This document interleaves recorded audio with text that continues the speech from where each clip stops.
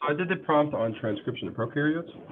So there's three steps to transcription of prokaryotes, uh, initiation, elongation, and termination. So this is just the overall structure. Before initiation begins, things to keep in mind are the plus one nucleotide region. This is where transcription begins.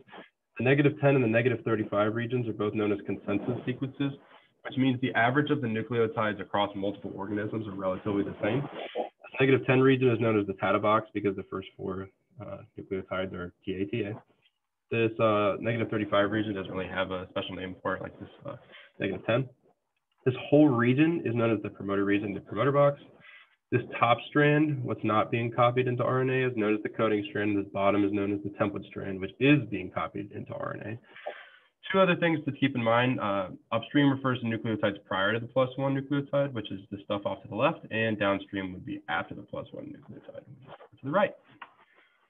So to begin initiation, we have the core enzyme, which binds with the sigma factor. The sigma factor and the core enzyme together is known as the holoenzyme, which the sigma factor helps it bind to the negative 35 and negative 10 region, get the RNA polymerase in the correct place the plus one to begin uh, transcription. So I think of the sigma factor as a pair of glasses and the core enzyme as an old man trying to find a rope that will lead him into a dark tunnel.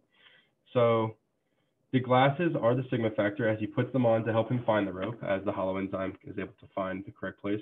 And then, you know, the rope is sticking out of the tunnel, so it helps him get into the tunnel. And then once he gets into the tunnel, much like the sigma factor, the, he can take his glasses off because it's dark, obviously, so he doesn't need it anymore. So the RNA polymerase doesn't need the sigma factor anymore to keep transcribing.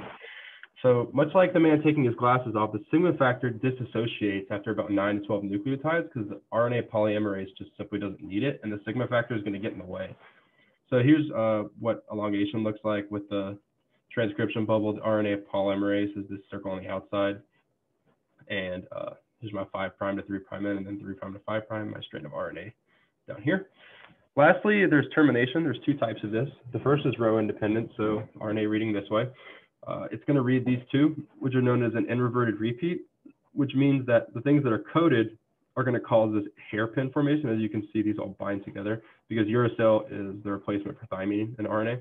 So these are all binding together, creating this hairpin. And after, after this, there's usually a strand of adenines, which codes a strand of uracils. These AU bonds are very weak, so this causes the DNA and the RNA strands to disassociate from each other, terminating transcription.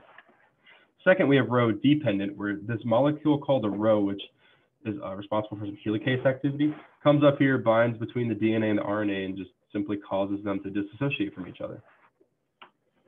Uh, here's my references, our, two professors.